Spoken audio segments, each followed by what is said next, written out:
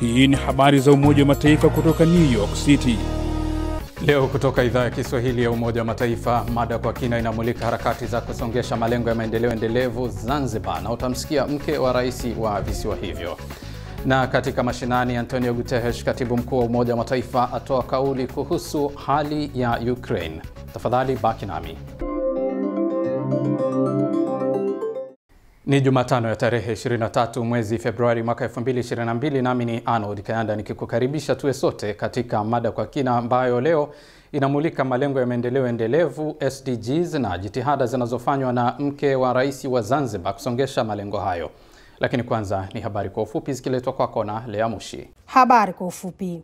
Mashirika mawili ya Umoja wa Mataifa, lile la afya ulimwenguni WHO na la kuhudumia watoto UNICEF na wadau wao wametoa wito kwa serikali, wahudumu wa afya na tasnia nzima inayohusika na vyakula vya watoto kutekeleza kikamilifu na kutii mahitaji ya kanuni za kiafya baada ya utafiti kuonyesha kuwa wateja wamekuwa wakilengwa na ushawishi wa biashara kutoka kwa makampuni ya maziwa ya viwandani ambayo mengi yanakiuka viwango vya kimataifa vya ulishaji wa watoto wachanga. Katibu mkuu wa Umoja wa Mataifa Antonio Guterres amelaani vikali kukamatwa kwa wafanyakazi wanne wa ujumbe wa Umoja wa Mataifa wa kulinda amani nchini Jamhuri ya Afrika ya Kati CAR MINUSCA. Taarifa inasema wafanyakazi hao walikamatwa na polisi wa CAR katika mji mkuu wa nchi hiyo Bongi Jumatatu ya tarehe ishirini na moja mwezi huu wa Februari walipokuwa wakimsindikiza afisa mkuu wa MINUSCA. Na ripoti mpya ya shirika la Umoja wa Mataifa la mpango wa mazingira UNEP imesema moto wa misitu unatarajiwa kuongezeka kwa asilimia hamsini kufikia mwishoni mwa karne hii, yani mwaka elfu mbili na mia moja.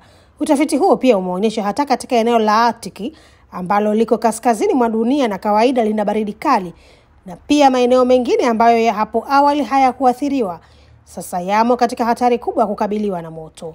Mwisho wa habari kwa ufupi. Shukrani sana Lea Mushi kwa kutuletea habari kwa ufupi, na hapo baadaye katika mashinani tutamsikia katibu mkuu wa Umoja wa Mataifa Antonio Guterres akizungumzia hali ya sasa ya Ukraine. Tafadhali baki nami. Baada ya siku ndefu ya mihangaiko na misukosuko ya kujitafutia riziki, baada ya pilikapilika na safari za hapa na pale, baada ya msongo wa mawazo kuhusu hali ya maisha, sasa muda umewadia.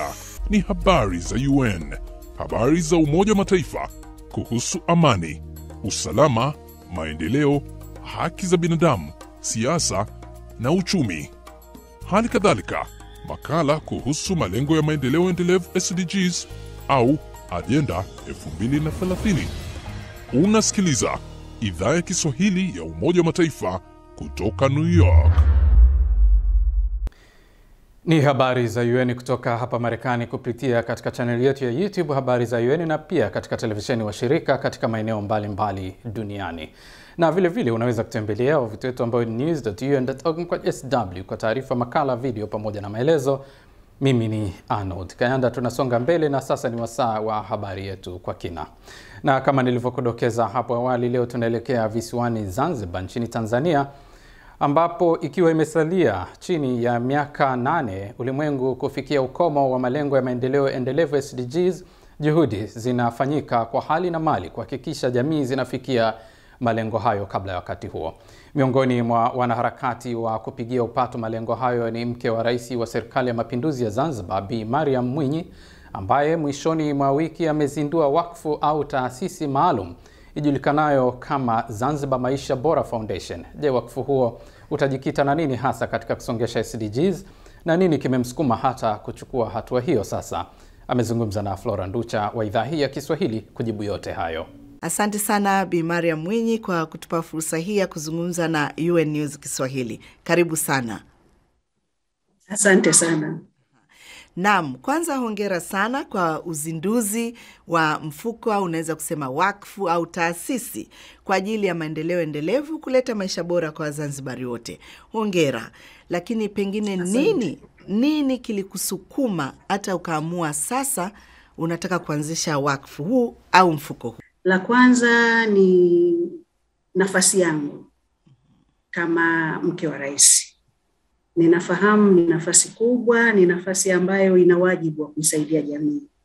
Kwa hiyo nilijitafakari, nikaona nina nafasi ya kuisaidia jamii yangu na ni nafasi kubwa ya ushawishi, na vile vile ni ule pia utashi wangu wa kuona kwamba ni namna gani ninamsaidia mwanamke wa Kizanzibari kuendelea zaidi. Ilikuwa ni kiuchumi, nilifikiria na kuweza kuchangia maendeleo ya nchi yake especially kwenye uchumi wa buluu. Na la tatu ni nilimtakia mwanamke maisha bora, kwanza yeye, alafu jamii na familia yake na jamii. Nilitamani nione ana maisha bora katika familia yake.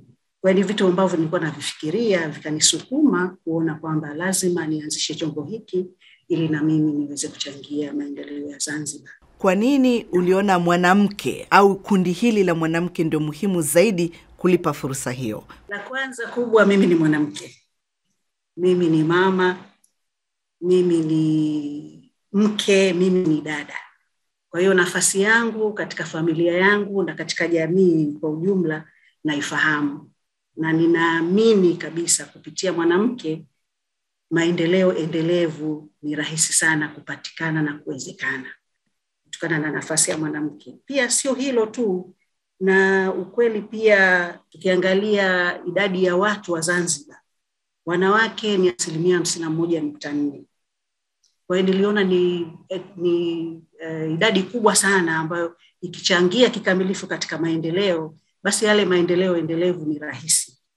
Lakini sikumwacha mwanamke peke yake, huwezi kuongelea mwanamke bila mtoto, bila vijana. Kwa hiyo ni haya makundi mengine pia nikayaona ni lazima niyachukue kutokana na umuhimu wake katika jamii. Kwanza, watoto chini ya miaka kumi na tano Zanzibar ni asilimia arobaini na mbili. Kwa hiyo ni watu wengi sana, na vile vile vijana pia ni asilimia thelathini na sita. Tunaongea kuhusu takriban miaka kumi na tano mpaka thelathini na tano.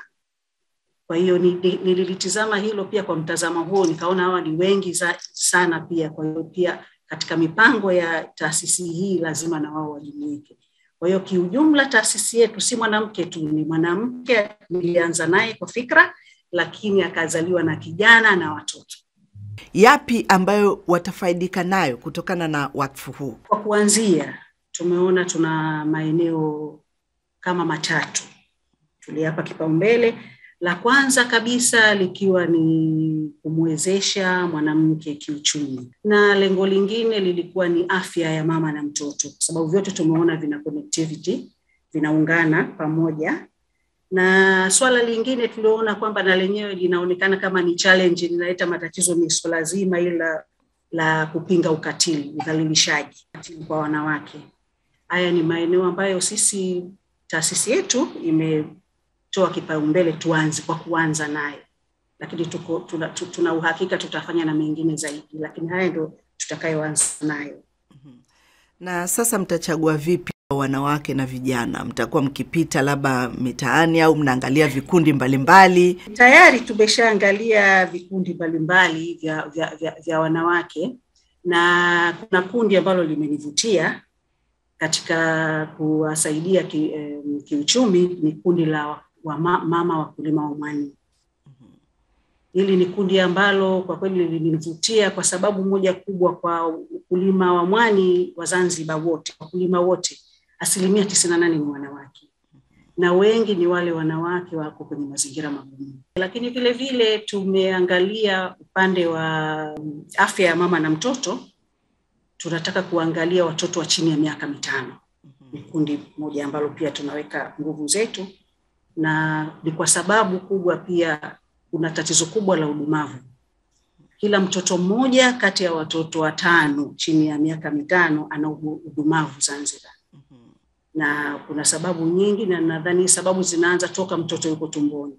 Kwa hiyo hapo tumeona tutaanza toka afya ya mama mpaka na mtoto chini ya miaka mitano. Eneo letu lingine ni hili swala zima la uh, udhalilishaji, ambayo pia tumechagua um, watoto kundi la bale au watoto adolescents ndio tutakaoanza nao. Na tukija hapo katika hilo swala la ukatili kwa watoto, Zanzibar kumekuwa na changamoto ya masuala ya ubakaji na ulawiti hasa kwa watoto. Kwa hiyo hili pia utalipa kipaumbele? Kwa uhakika utalipa kipaumbele, na labda tu niseme serikali ya awamu ya nane hii imeliona kama ni janga na tayari imeweka mikakati madhubuti e, na imeipa kipaumbele kikubwa kama vile kuweka mahakama maalum. Sasa hivi Zanzibar kuna mahakama maalum ya kushughulikia swala hili. Vile vile imeweka sheria ya kuondoa dhamana. Kesi yote ikipelekwa tu polisi, basi huyu mtu akikamatwa hatolewi mpaka kesi ishe, na hili wamefanya makusudi ili kuzuia. Mara nyingi wakipata dhamana, wanatoka nje, wanaenda kuharibu ushahidi, kesi zinakuwa zinakwama. Lakini sisi pia tumeona kuna mwanya ambao tunaweza kuingia kusaidia. Sehemu ambayo sisi tumeamua kuingia kwanza ni kwa huyu eh, kijana adolescent. Tuta, tunataka tumjenge kujiamini, kujitambua na kujilinda. Kwa hiyo sisi tutakuwa na kundi hilo la kuweza kuwafundisha hawa vijana kujilinda na kuona viashiria vyovyote vya hatari, lakini vile vile waweze kusema tatizo likitokea wasifiche, kuona kwamba hili jambo ni baya na lazima liseme, kwa sababu kama tunavyofahamu tamaduni zetu, kuna mambo yanaonekana kama ni usiri, ni ya kuficha. Na tumeliona hili hapa, lazima kwa njia moja au nyingine tumshirikishe mzazi, especially mama.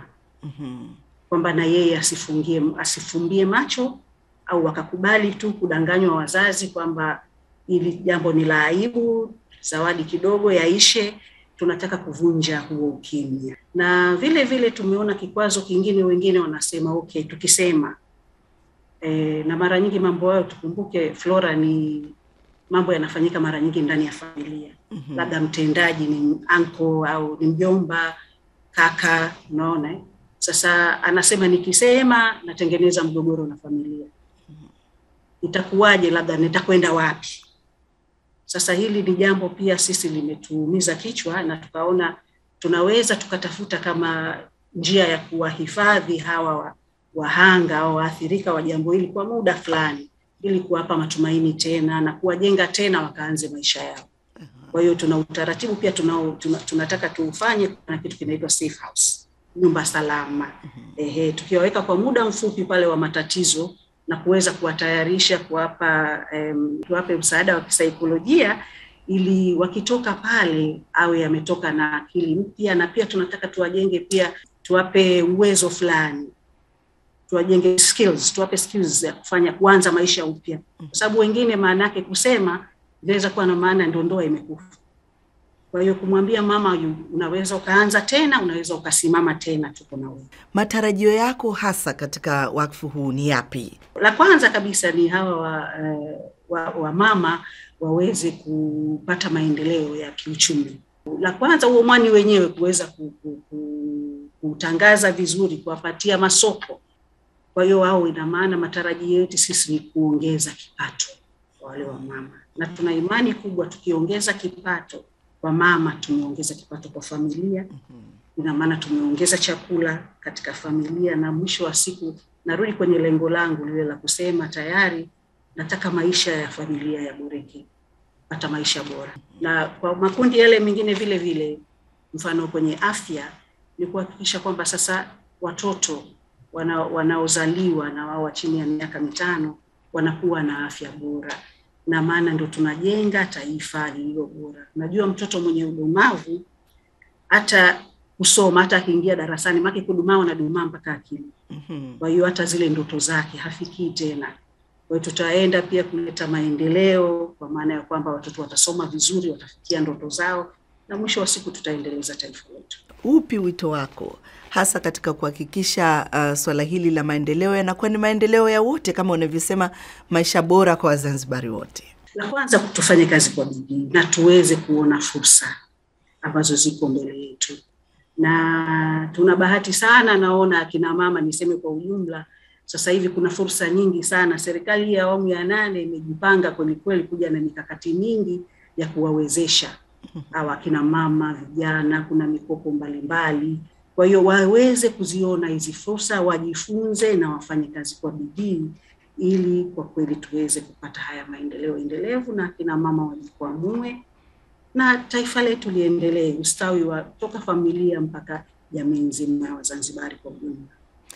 Asante sana na kushukuru sana. Huyu ni Mariam Mwinyi, ni mke wa rais wa serikali ya mapinduzi ya Zanzibar, Dr Hussein Mwinyi. Shukrani sana kwa kutupa fursa ya kuzungumza nasi siku hii ya leo, na tunakutakia kila la heri katika foundation yako. Asante, Asante sana. asante. Kila la heri Bi Mariam Mwinyi katika jitihada hizo, na shukran Flora Nducha kwa mahojiano haya maalum. Na sasa ni mashinani. Katibu mkuu wa Umoja wa Mataifa Antonio Guterres amesema uamuzi wa nchi ya Urusi kutambua kile kinachoitwa uhuru wa maeneo fulani ya nchi ya Ukraine na kupeleka majeshi yake ni kinyume cha sheria za kimataifa. Let me be clear.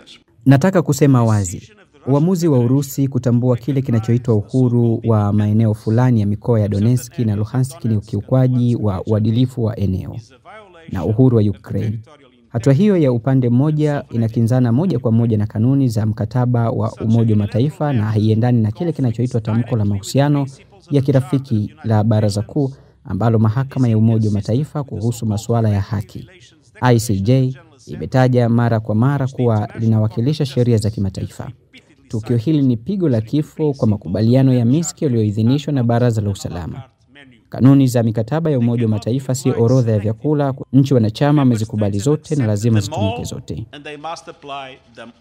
Shukrani sana Katibu Mkuu Guterres kwa ujumbe huo. Tunaiombea amani Ukraine. Na kufikia hapo basi, sina la ziada hadi kesho, lakini unaweza kutembelea wavuti wetu news.un.org sw kupata taarifa nyingine mbalimbali mbali, na vilevile vile kipindi chetu cha redio kinapatikana hapo, na pia tafadhali subscribe kwenye hiyo news YouTube yetu habari za UN ili kupata video tunazokuandalia kutoka Umoja wa Mataifa na katika ukurasa wetu vile vile wa Twitter habari za UN. Kwa niaba ya wote walioshiriki, mimi ni Arnold Kayanda ninakutakia amani na kwaheri kutoka Umoja wa Mataifa.